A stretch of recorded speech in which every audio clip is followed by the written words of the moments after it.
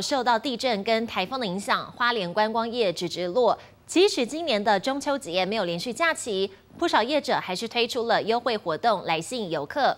有赏金业者就推出，在中秋节这几天出生的民众可以免费上船出海赏金。花莲则是有乐园推出兔年出生，或者是扮成嫦娥、月兔、吴刚等角色，就享优惠价，预估能吸引上万人次入园。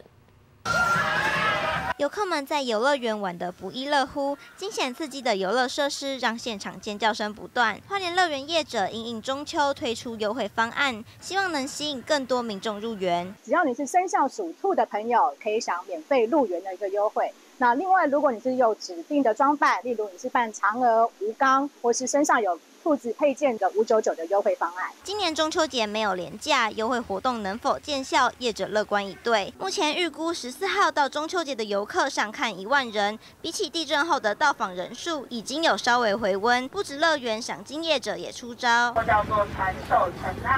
啊，现在好多只。今年大型金种领航金和抹香金的出现几率比往年都高，也寄出优惠吸引人潮。那么我们从九月十四号。一直到九月十八号，只要是寿星，我们都欢迎你到我们花莲的海上来走走，全部免费。赏金业者表示，虽然这次没有廉价，但还是希望透过优惠吸引游客。毕竟地震加上台风重创当地观光产业，就盼中秋优惠吸引人潮回流。记者陈金业花莲报道。